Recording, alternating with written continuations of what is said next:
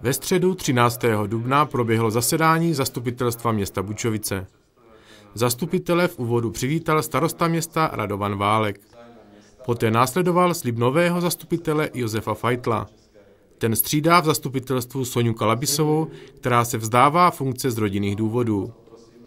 Třetím bodem programu byla kontrola úkolů z minulého zastupitelstva a následovala zpráva o činnosti rady. V pátém bodu přišlo na interpelace zastupitelů.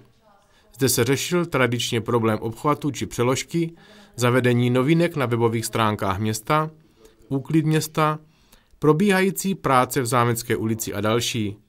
Následovaly návrhy na schválení. Schválení byli zástupci města v Responu, VAKu a úvěry města na zateplení školních budov. Diskusí a závěrečným usnesením bylo zastupitelstvo ukončeno.